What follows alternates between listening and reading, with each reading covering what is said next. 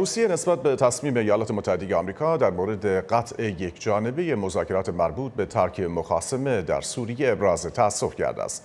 کاخ سفید عصر روز دوشنبه و در پاسخ به موارد متعدد تخطی کرملین از توافق آتشبس در ماه گذشته و ادامه گلوله باران توپخانه ارتش سوریه و بمباران هوایی توسط بمبافکنهای روسیه و سوریه این خبر را اعلام کرد.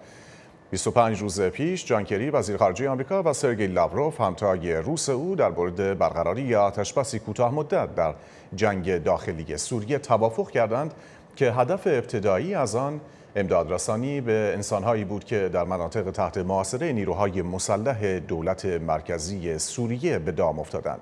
جزئیات بیشتر در گزارش سیران شرفی.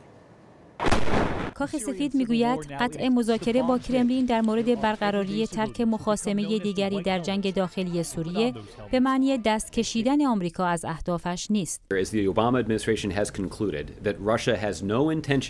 دولت اوباما به این نتیجه رسید که روسیه اساسا قصد ندارد به تعهدات خود در چارچوب مذاکرات برای پایان دادن به مخاسمات در سوریه عمل کند. وقتی این نتیجه گیری انجام شد، شخصا نمی‌دانم چه چیز دیگری مانده که در مورد آن صحبت کرد. این یک راهبرد کاملا حساب شده برای فشار به رژیم اسد جهت اهدافی است که ما به دنبال آن هستیم و طبعا این اهداف را از طریق دیگر دنبال خواهیم کرد.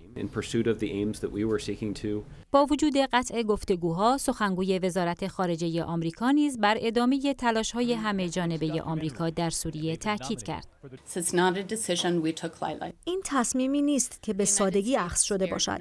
آمریکا در مذاکرات و به اجرا درآوردن توافق با روسیه که به منظور کاهش خونریزی، تأمین امدادهای بشردوستانه و کاستن از توان سازمانهای تروریستی فعال در سوریه از جمله داعش انجام شد، از هیچ کوششی فروگذار نکرده است. استیوان دمسترا نماینده ویژه سازمان ملل متحد در امور سوریه روز دوشنبه دوازدهم مهر در بیانیه‌ای از قطع مذاکره آمریکا و روسیه درباره سوریه انتقاد کرد و گفت سازمان ملل هرگز مردم سوریه را رها نخواهد کرد تا جنگ خشونت آمیز به پایان برسد.